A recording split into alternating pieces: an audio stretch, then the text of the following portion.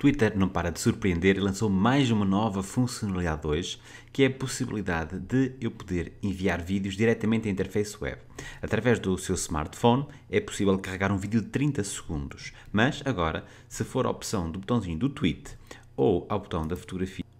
e portanto cá em cima, nesta barra de seleção, posso mover para que zona do vídeo quero Uh, e depois cá em baixo posso fazer trim, posso portanto cortar uh, até os 30 segundos permitidos. Uh, e por isso dá aqui um pequeno passo muito bom, porque fica alinhado com a nova função que é a função Moments,